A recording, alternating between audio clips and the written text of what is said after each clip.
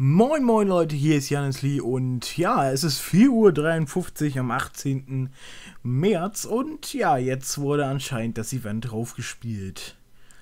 Das ist gut zu wissen. Auf jeden Fall sehen wir hier Higher Chances of Getting a Straw Hat Pirate. Das heißt, wir haben eine höhere Chance für Strohhut-Piraten. Also, machen wir drei Stück. Ich habe 15 Regenbogen-Gems, also machen wir drei Stück von den Rare Recruit und gucken mal, was wir davon bekommen.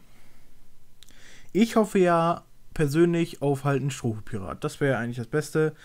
Und ja, mal gucken. Der erste geht los und was bekommen wir? Okay, ein silbernes Blatt. Ich hätte jetzt besser ein goldenes, aber eine Miss Wednesday. Okay, haben wir schon, aber damit können wir ihren Skill verbessern. So, das zweite Mal. Gucken, was wir jetzt bekommen. Oh, Gold. Sehr gut. Oho, sehr gut. Ah, okay. Okay. Nefertari Vivi. Genau, Vivi war das, die auf den Enten geritten ist. Genau, stimmt. Ja, aber sehr gut. Äh, eine goldene Karte. Sehr gut. Sehr, sehr gut. So, nochmal pullen und gucken, was wir nochmal bekommen. Hoffentlich noch was Gutes. Oh, noch eine goldene. Sehr gut. Was haben wir? Oh, Monkey D. Luffy mit dem Gum-Gum-Ballon. Die Gum-Gum-Ballon-Form. Sehr gut. Da haben wir unseren Strohpiraten. So. Hat aber 15 Kosten, also das wird erstmal eine Weile dauern, bis wir den in unser Team reinbekommen. Und was sehe ich da? Super Success ist mal 2. Ja, also wenn man jetzt was hochlevelt, ist das ein. Ja, äh, es ist eine Super Success Chance höher, also doppelte Chance. Und ein Super Success macht halt die Erfahrungen, die sonst erhalten werden, um eins, eineinhalb Mal höher.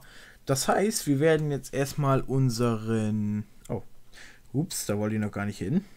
Okay, das war jetzt aus Versehen. Ähm, gehen wir mal eben auf den Power-Up und gucken mal eben, was wir hochpowern wollen. Ich wollte jetzt erstmal mein Fighter Ruffy, also mein Heavy Point Chopper, hochmachen und mal gucken, was 60.000, welches Level ist er dann? Mit 60.000, er hat ein Max-Level von 50. Also nehmen wir erstmal vier von den Schildkröten und eine behalten wir noch und hoffen auf eine große, ja, auf eine Superfusion. Na, keine super, kein super Success, aber trotzdem gut. So, gucken wir mal, wie weit der denn wirklich kommt. Ich skippe jetzt aber eben bis Level 28, sehr gut. Sehr, sehr gut ist der Level 26 oder 28, ich weiß gar nicht mehr, was ich gesagt habe. Und ja, natürlich mit dem Update kam natürlich auch Kuros Incomplete Plan. Und jetzt gucken wir uns das mal an, wie das hier aussieht.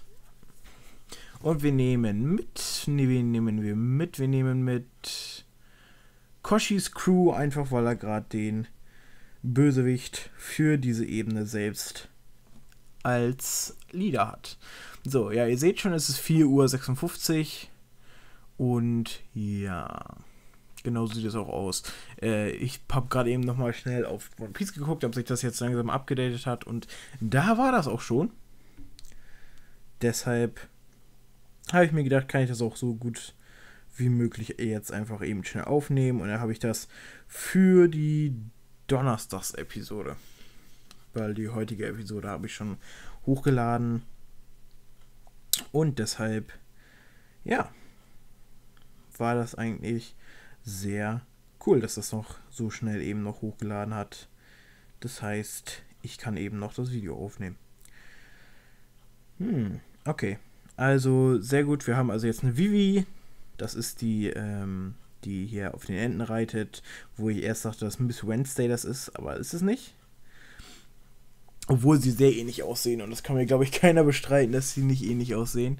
So, wir haben einmal einen Rasterhut da hinten, also einen Rasterlockenkopf und da vorne haben wir ein Mann mit der Bogen, eine Armbrust, nicht nur nicht einen Bogen, sondern eine Armbrust. Äh, den mit der Armbrust, den haben wir schon früher gesehen, der ist schon in vielen früheren Missionen gekommen und den Rastermann, den hatten wir gerade erst als Boss in der in der letzten Zone, also die, die wir gerade erst freigeschaltet haben. Also, relativ neu der Scan, also der, aber wir sind bei Battle 4 von 5. Irgendwas Interessantes hier? Nö. Auch wirklich nur die, die wir auch gerade in unserer Mission hatten. Okay. Okay, das war jetzt ein bisschen komisch, aber okay. Ja, also bis jetzt haben wir auch nur welche eingefangen, die wirklich diese Dämonenhörner hatten. Nichts jetzt unbedingt Großes. So, jetzt der Boss ist natürlich der, den wir jetzt auch in unserer Gruppe haben. Jupp, genau. Und sagen wir mal so, ich hoffe, dass wir den irgendwann mal bekommen.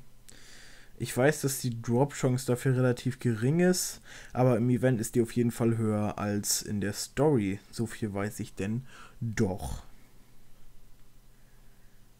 Ja.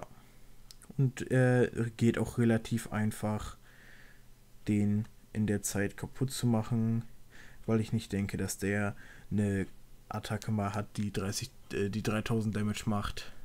Also ist das relativ simpel. Wir sind ja auch noch bei der Rookie-Version, also bei der niedrigsten Stufe, aber trotzdem mal gucken, wie viel Erfahrung es dafür gibt. 480, das ist okay. Ja, und auch wieder, wieder hier nichts Interessantes, wie die, wie die, wie und hier nichts Interessantes. Ja. Haben wir gerade die Veteran. Nee, wir haben die Rookie gemacht. Ich wollte gerade schon sagen, warum war er jetzt auf Veteran? Hm wir machen noch eine normale Version, damit wir auch in der Story weiterkommen. Das ist nämlich immer wichtig, nicht zu vergessen. Die Story ist nämlich das, wo wir viele Farmspots aufmachen können, für zum Beispiel Delfine oder halt was anderes. Äh, nee, ich möchte jemanden schon jemanden haben, der einen Namen hat. Wir nehmen mit. Ähm, hm, hm, hm. Äh, nehmen wir mit Chiller Killer. Nehmen wir den einfach mal mit. Und gucken. Ja, obwohl wir hier eigentlich nicht wirklich die große Unterstützung brauchen, aber ist immer gut, den da jemanden mit dabei zu haben. Und wie viele Schritte haben wir hier? Auch wieder fünf Schritte, also das ist relativ, relativ simpel würde sie wieder sein. Naja, die Story war bis jetzt noch nicht wirklich schwer. Das wird halt wirklich zum Ende hin schwieriger. Oh, ich sehe, wir haben eine Kiste bekommen. Hoffentlich ist es eine Cola. Zum Upgraden. Hier hinten ist wieder ein Seepferdchen. Also für alle, die das Seepferdchen farmen. Hier ist auch wieder eine Stelle, wo ihr das bekommen könnt. Aber im Allgemeinen sage ich immer, guckt auf das One Piece Treasure Cruise Wiki, da seht ihr wirklich, oder den Blog, das ist eher ein Blogspot-Ding, aber guckt da mal da drauf, da steht, wo ihr auch bestimmte Charaktere farmen könnt, wie Buggy oder halt Arlon. Und dann seht ihr, wo ihr die Fusionsmaterialien herbekommt. Also wo ihr die am besten farmen könnt, in welchen Gebieten. Ja, also das ist eine gute Seite für alle, die die noch nicht kennen. Könnt ihr ruhig mal eben drauf gehen. Ja, da habe ich auch nicht mehr wirklich mehr viel zu sagen, weil da steht wirklich alles, was ihr wissen müsst zum Thema Evolutionsmaterial und ja, den ganzen Kram und halt Charaktere, dann seht ihr da auch, was man zum Evolutionieren bestimmter Charaktere braucht. Dann müsst ihr einfach nur den Charakter eingeben oder den Charakter in der Charakterdatenbank suchen. So, okay, wer ist das denn? Okay, keine Ahnung, auf jeden Fall ist das hier der Boss. Und der sieht aus wie, was weiß ich, wie ein Katzenmensch mit grünen Haaren. Yay. okay. Das war komisch. cool. Äh, mal gucken, ob das das Level abgibt. Sonst werde ich bis zur nächsten Folge auf jeden Fall. Ja, das ist eine Cola, sehr gut. Ähm, aber ich werde bis zur nächsten Folge auf jeden Fall die. Äh, wie nicht das? Ja, einfach das nächste Level erreichen, weil ich in der Zeit jetzt, wo ich keine Videos aufnehmen werde, werde ich jetzt auf jeden Fall die Extra-Insel farmen. Und zwar möchte ich Kuru farmen. Ich möchte Kuru farmen in der Zeit, wo ich das jetzt noch machen kann und ja, halt versuchen, Kuru zu bekommen. Aber das ist auch das Ende dieser Folge. Ich bedanke mich fürs Zuschauen und wir sehen uns das nächste Mal.